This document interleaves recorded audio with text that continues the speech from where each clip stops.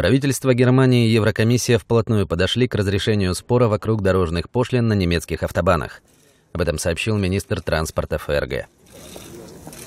Äh, äh, Мы ведем тесные конфиденциальные переговоры с Еврокомиссией по вопросу дорожных пошлин. Председатель Еврокомиссии Жан-Клод Юнкер сыграл важную роль в поиске общего решения. Мы разрешаем противоречия, и мы уверены, что достигнем соглашения уже в этом месяце.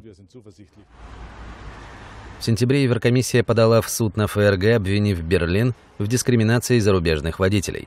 Предмет спора – дорожные пошлины – по закону иностранные водители должны их оплачивать, в то время как с немецких они взимаются путем вычета определенной суммы из налога на автомобиль.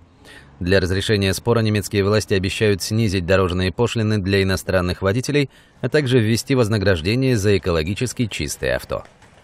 Äh, мы не будем накладывать дополнительных финансовых обязательств на местных водителей, но мы изменим пункты, которые касаются экологии.